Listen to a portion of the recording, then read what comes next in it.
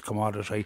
And this letter clearly indicates the thinking of the European Union. It's not dictation, it's a very mild, uh, polite type of but letter. But they are saying, they are saying, Bríd Smith, to comply with the EU directive, with EU law, you have to stay within these parameters. Absolutely. There's nothing new in this. It's more EU bullying of the Irish people. And the only thing new in it, I disagree with Ray, that the tone of it, and I'm just reading it now, because interestingly, I spoke to Paul Murphy before I came out, who's our representative representative on the Water uh, Commission committee, and this was not raised at that committee, but it was email, emailed after the meeting was over Today. to the members. Yes, and I didn't see it because I'm not a member, and Paul just emailed it to me, but I'm only actually reading it now. And I would argue with Ray that the tone of it is even more aggressive than they have been before. You must do this, you must do that. The polluter must pay, you must introduce a charge. When the Irish people have clearly given a signal at the last election on the streets many, many times that they are not in favour of water charges through a payment. And by the tone, by the tone, you mean they, they talk about the directive in they say it's a flexible instrument. They say, however, any water pricing policy must comply with the principles of cost recovery and pollution polluter pays. Is that what you find offensive? I, find the whole tone of it offensive, and we've see, we've had this from them before. In fact, it was challenged by MEPs such as Lynn Boylan in the past that the directive doesn't say that you have to have a, a cost recovery and polluter pays principle.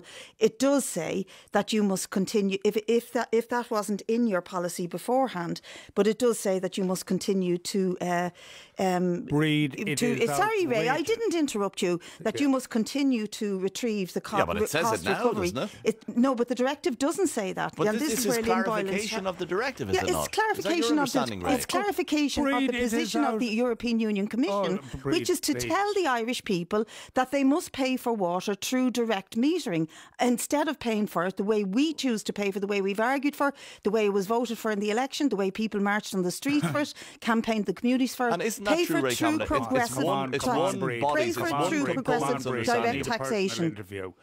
The, I deeply resent the fact that Bríd suggests that the Irish people do not believe that the polluter should pay. And Bríd is not only suggesting, she's saying quite clearly that the taxpayer should pay for a person who pollutes the water sources in this country or who abuses the water system by leaving their tap on all night, for example. Bríd wants the ordinary taxpayer to pay for that.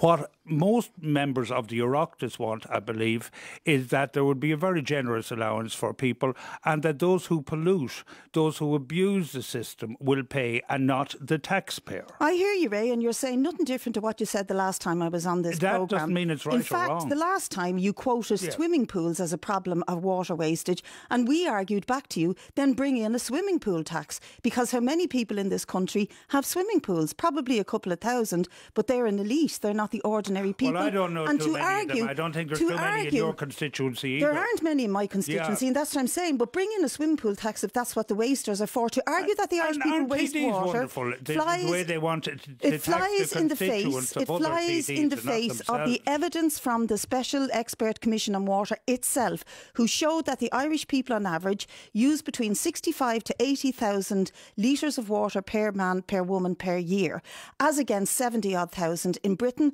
and 70 more thousand in Denmark. Let me, let me so we are not actually wasters of water. Let me draw as Ray Bassett into the crossfire if you're yeah. brave enough, Ray. Here is a quote from the, the letter from Karmenu Vella, uh, and let me lay it out to out to you, and you can interpret this for us. In order for the charge on excessive or wasteful use of water to attain its purpose, the consumption of water for normal use should be set at a reasonable level and the charge for excessive or wasteful use of water should be dissuasive. And another key line the completion of metering will be instrumental to this yeah. effect. It, this is actually this is a very good example as to why we ended up with Brexit. I mean, what the European exactly. Union is saying yourself. to us about how we organise our water supply, it's nuts, to be what, quite why? honest. Mm. Because you know, as a country, if we decide to socially subsidise um, people with water, and it's part, it's a cultural thing, that's a matter for us. The European Union should uh, confine itself to making sure that we, we, we don't break health standards, that we don't pollute waters for other countries. But how we organise it internally, I can't understand why they want to, to get into that type of detail. I mean, I don't know who would vote for this.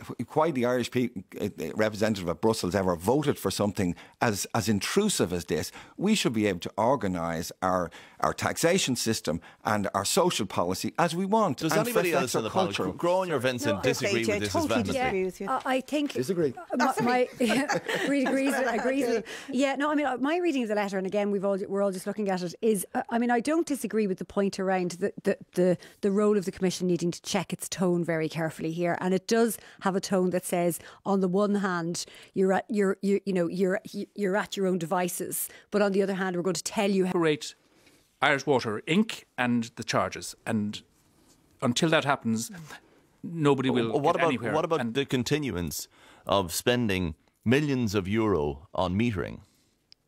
Will that be a, a political hot potato? I, I would. Uh, you can. You can. Uh, I think that probably metering is going to be required ultimately. But look, an awful lot of people who use water, even through metering will not be paying for it. They'll be subsidised. This yeah. is going. That's going to happen ultimately. But but people like Bríd Smith don't want to pay anything. They, That's they don't true. Want, That's not uh, true. No, I'm for uh, progressive taxation in this country. they, they don't want to pay anything progressive, extra as opposed to what you think you pay already. Isn't that fair? I'm for progressive taxation in this progressive country. Charging, it's very but, but you're against metering as well, is that right? I am. And if you look at the waste of money that has gone into the metering programme, and yet the expert commission itself has shown that metering our system will only show up something like 10 to 11% of the leakages.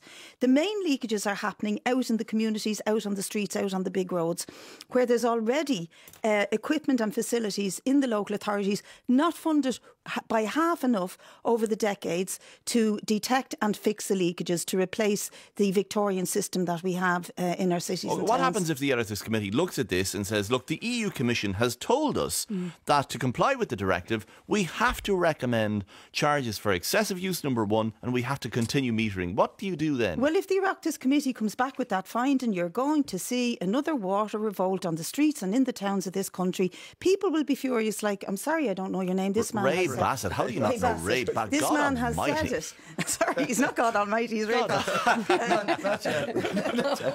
um, so, but the point is that people will interpret this as I have done. How dare they tell us how to fund a, a, a utility uh, in the way that the, the, Irish people have indicated that they're not in favour okay, of? Okay, and if you don't comply and you uh, face fines, what do you do then? Well, if we don't comp- comply and we face fines, then you open up the whole question of, as Ray Bassett said, uh, not God Almighty, what does the EU represent to states like Ireland? You still why pay the fines, why did the, the, the, the, the British people vote for Brexit? Uh, not always because they were racist, but in a lot of cases because they were tired of the imposition of austerity and the imposition of rules and regulations. But the logic of it, though, Ray Bassett, is, the logic, the logic of what you're saying, Ray Bassett, is if you do not comply, small-mindedness and little. I have not got a small mind. Nobody, nobody from the outside can tell us what to do, or as this letter. Uh, but this letter does tell us what to do. It doesn't. It's indispensable. But whether whether it does or not, anyway if what's in the letter makes sense, surely we should have the capacity to say we're part of Europe. Other people have ideas Ray, as well. If what in the we letter have, made uh, we sense, have ideas about if what in the letter too. made sense, probably most of the TDs and probably myself wouldn't be in the Dáil because the people of this you, country did not want hang, water. Hang on, hang on. On this issue, hang on, hang on, Ray. On this issue, there are so yeah, many, exactly. there's so many shades. If this letter made sense, Una voce, then the, Una if this letter made, made sense, then we'd have a different composition in this country. Yeah, We'd probably have yeah, a totally right wing government. Hang on, hang We'd on. have no discussion about alternatives. We'd have no discussion about let's take the 13 billion off Apple. Everybody be doffing okay, their but cap hang on a quietly second. to Europe the, and saying the that's problem okay. is the problem is No. there are so many shades of sense on this issue. That's why it hasn't been resolved. But to follow the logic for a second, if you don't comply and you face fines, well, then you're paying extra money for nothing, surely, Ray Bassett. Indeed, indeed. But I, I you know, may, I don't want to be sound like a. What was it? Churchill said, "A fanatic is not somebody who can't change their mind; it's somebody who can't change the subject." But I think you know, I've been beaten on about that. We do need change in Europe. That this is this is uh, inside inside government. Uh, ministers. Ministers and officials. They, yeah, they, don't. Because they don't. we tried it ourselves and it didn't work. Don't forget the basket t- case this country was until we entered the European Union. Exactly. You remember Bassett, uh, uh, Ray Bassett, what what this country was like. Yes, but I have more confidence in the Irish people than you have. I mean, almost everything we, we have now, almost everything we've gotten now has come from our no. membership of the European Union. I don't agree. If I we weren't a lot of it's come from our own efforts. It, we would be just another backwater. Like the, like the low corporation tax, the lowest corporation tax, the refusal to take up immigration, poverty. I, I, can, can I say, I, I think Jeremy Corbyn's uh, description of Theresa May's speech is very interesting. He talked about her wanting to build Britain as a tax haven on bargain basing wages and conditions. Mm. And that is what she was indicating. She wants to lower the corporation tax, mm. be able to uh, deregulate working and pay conditions, and then act have Britain act as a competitive bloc with the EU. And she may well be successful. If she She's doesn't get her way, mad. that was her threat, wasn't but, that right? Well, what, whether she gets her way or not, she wants to deregulate uh, conditions and pay in Britain, and she wants to bring down the corporation tax. And that will make her a serious competitor for foreign direct investment, for uh, exports, etc. Do you reckon she'll do that whether she gets access to the market or not?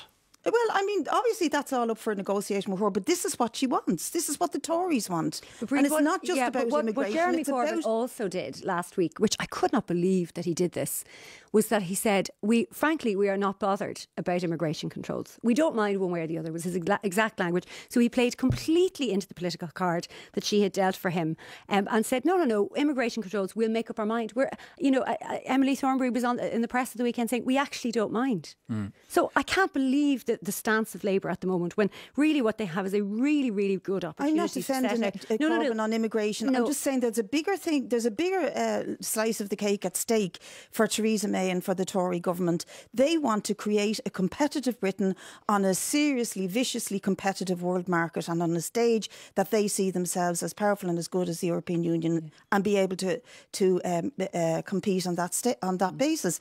And this is a problem with the whole of the way the globalisation project has gone, that everything is becoming viciously competitive, race to the bottom. It drives down wages and conditions. And then when they don't get their way, they blame the immigrants. It's all because of the Syrians and the Afghanis coming in here. So they scapegoat uh, minorities uh, in order to maximise profits. And that's what's going on.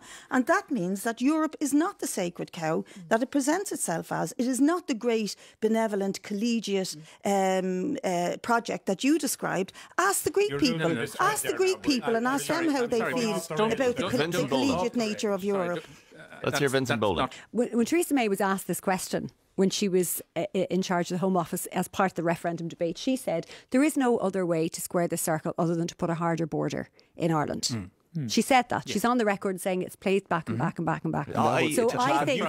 So as a result, yeah, as a result of that, it is inevitable that we will have to that that not that we will have to, but that the border could be hardened as a mm-hmm. result of that. Yes. Mm-hmm. mm-hmm. There is nothing that she's ever said since she became PM and leader of the Tory Party that has made me given me any cause for comfort that she thinks other than what she said and what she's on record and saying. So that's why I think I, I agree with Ray. We need to start moving immediately now to what are the solutions, and it is not you know it, it is not unusual for countries to share immigration officials at different borders. So that's a price you'd be so willing to pay as well to have UK officials at Dublin and Cork and Galway Galway and so on. Because that's what that that happens in countries all over the world. You're not giving them jurisdiction. You're simply giving them okay. presence. So you, and the Ray would be have, prepared to pay immigration it. Absolutely, uh, okay. American and, Gráinne Long would be prepared to pay 23. it. Bríd Smith says absolutely no way. Absolutely not. I mean, the the policy of the Tory Party in relation to immigration and refugees is outrageously right wing, and if we were to cooperate with that, we would be just as guilty as as, as they are in refusing to open up their uh, their economy, their arms, their country. When I say their arms, I mean these things. I don't mean their their weapons uh, to those who are victims of famine, war, and terrible carnage all over the world. And uh, you, you, you don't have to see Ireland as cooperating. On the one hand, we can reject a hard border, and I think if they do try to create a hard border, the people, both north and south, should protest against that. You can reject a hard border and at the same time refuse to Im- uh, to implement the immigration policies of the Tory party. So no, says you, would we be- business. It's outlined cuts in, uh, to payments and layoffs if necessary. The company has offered pay rises over a four year period, uh, but there must be no industrial action, it says, during that period. to attain those uh, pay rises. Should they accept this? I wonder. No, they and they and they won't. The workers won't accept this. They're already campaigning to. Uh, they have a very good campaign actually called "Stop the Sell Off of Bus Éireann Sobs," and I've brought in a leaflet that was issued on this. It's a very, um, it's very telling what these cuts will do to the services around the country. So, for example. Uh, there'll be no bus services to uh, Carlow College uh, except for 13 a week reduced from 180 a week. Now, 180 may be excessive, but down to 13 is a joke. Um, there'll be no bus services to or from Loughlinstown or St Vincent's Hospital from Wexford. There'll be no bus services at all in Milltown Pass, Rochfortbridge, uh, Tyrrell's Pass, Kilbeggan, Horseleap or Moate a sort of extension of uh, uh, of a residential area for but, workers. But, but what Dublin. can you do? You, you, the, the company has looked at this. The company has obviously looked at this. They say, okay, we lost eight million last year. We cannot mm-hmm. continue in this vein. Mm-hmm. We either have to cut services mm-hmm. or cut salaries. What other option is there? The, the option is that this government stops cutting itself in relation to, uh, and previous governments in relation to public transport. From 2009 until last year, they consistently cut the subvention to public transport in Bus Éireann and in Dublin Bus. We, in fact, give more subvention to Luas and to Dart than we do to Bus Éireann. And yet, more people use the buses but than there they do are other services. There are private services. There are there? private services, and that's part of the problem for Bus Éireann. Why is it not choice? Uh, choice, it may be. For the consumer. If, if, you, if you put it in, in those terms, the consumer has choice. But when you are running a public bus service, public transport service that needs subvention, and then you allow private operators to compete on the same terms on the main routes ad nauseum because the NTA have issued dozens of licenses. They've rejected that. The NTA have said it's not ad nauseum, it's not saturation. Yeah, well, it is saturation, I'm afraid. And the figures not. show, well, they say it's not, but the NTA say a lot of things and have said a lot of things during both the Luas and Bus Éireann strike. The problem is they've they have said they've increased the subvention, but they have not brought it back to 2009 levels. It's been cut, cut, cut, cut, Read cut, right down to its lowest point at 30 million uh, last Ray year. Kavanagh. Have and the you consumers ever actually, heard the consumers get. of a Sorry, word Ray, let me Let- let finish make the point. point. Let him make- Consumer. Yeah, yeah, the There consumer are is a passenger. consumers. The consumer's a passenger. You don't Well, eat you buses, haven't you travel on mentioned them. them in, in, in, in, in your most I have recent- because I've you said haven't public transport, them. public you transport, don't care public about transport. Them. The public. and I'll tell you, Hang what on, the let him make the point, yeah. I'll tell you what the consumers do. They uh, they leave their homes and they go down to the quays or they go to a meeting point in the city and they get on private buses because the private buses are half the price and twice the um, uh, regularity of of Bus Éireann. Not true. There is a tragedy unfolding here. The tragedy is a tragedy for rural Ireland, for the workers in Bus Éireann. Uh, successive governments have not tackled a rural policy. It should be all part of a rural policy, but it is unsustainable. And let's not kid ourselves to try to have a company uh, that is going to lose eight million a year. But what and happens to the people? What, what about the people of? And this What- is not a facetious question. You are what a about the Labour people Party of Milltown man. Pass What and about, Rochfort I'll what about I'll public tell you- I'll transport? tell- I'm, I can't yeah, believe I'm I- listening to the Labour Party There- saying there- you don't there- subvent there- public transport. There can there can be a solution, but it will not be a solution based on buses that cost three hundred thousand. It'll be a solution based on competition in the private market. Small small buses, uh, more frequent service, and a whole different category. Uh, bus My God, you've moved far high- away from Boland, you've moved so you far away the from the, here? principles of James Connolly, who founded your party. I- it is shocking. I'm, I have to say, I'm, I'm, I'm, I'm all in favour of subsidised public transport. I think in favour of subsidised public transport. I think it's, um, it's one of the, uh, one of the best uses of taxpayers' money is to subsidise public transport. Um, I recently took a journey from Tralee to Limerick on a Bus Éireann, and I thought the service was superb. I, I think the ticket was 14 euros. I would have paid a good deal more. So one um, solution to um, the bus uh, Bus Éireann problem maybe to raise prices, to raise the price of tickets. Um, but I think that we, uh, it, that it, the bigger question it raises is that our, our, our public transport priorities are a bit mixed up. Um, I was very struck um, sometime before Christmas when that uh, report was issued about the enormous subsidies that the taxpayer is paying to ferry three or four people on a train from Ballybrophy to Carrick-on-Suir. It was something like 400 euros per passenger per journey. But that's a very bad that- example. No, in fairness, no, that's a very bad example it's a to total use. waste of, money. Of course it is. It needs to be. Of it course end. is. And then you can, you know. Of course it is, but part be- of the, the must- Western Railway joined corridor. Up tension. no, of be joined course up it is, but it's a very bad example about public no, no, no. transport. But yeah, there's, It is the worst example you could use. but there are there, may be other examples as well. I mean, there, aren't. This is the worst There oh, there's all kinds of lobbying by TDs from the west of Ireland for uh, um, for the Western Railway corridor. There is a very good, useful service. It's that particular is- part of it. Th- there there's is some real there is no there. need for that. There, is, there are excellent roads between all the main towns and cities in, in, in well, some of the main towns and cities in the west of Ireland. Um, I don't want to that say all was of them. But- that was but- some rollback. yeah, but sorry, but we do have. I, I'm relatively new to this country, um, but we have. There, there is a superb motorway system, um, and there are excellent roads. The roads are much better now than they were when I left this country. In in, in And climate the end of change is also a problem. we want to get people off the roads, to Okay, be honest. look, No, no, in the no, long but run. we'll while, just while build we, all these while